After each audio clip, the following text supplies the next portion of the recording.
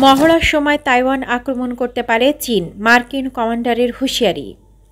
চীন শীঘ্রই এমন সক্ষমতা অর্জন করতে পারে, যার ফলে মহারাজ ছদ্মবর্ণে তাইওয়ান আক্রমণ করতে পারে। মার্কিন ইন্দো প্যাসিফিক কমান্ডের পরবর্তী প্রধান হিসাবে মনোনীত মার্কিন কমান্ডার অ্যাডমিরাল স্যামুয়েল পাপারও এই হুঁশিয়ারি উচ্চারণ করেছেন। তাইওয়ান নিউজের খবরে বলা হয়, আমেরিকার প্রতিরক্ষা ব্যবস্থাকে শক্তিশালী করতে নতুন বাণিজ্যিক প্রযুক্তিগুলোর সহায়তা নিয়ে সিলিকন ভ্যালিতে আয়োজিত ডিফেন্স ইনোভেশন ইউনিটের এক সংবাদ সম্মেলনে বক্তব্য করার সময় এই মন্তব্য করেন।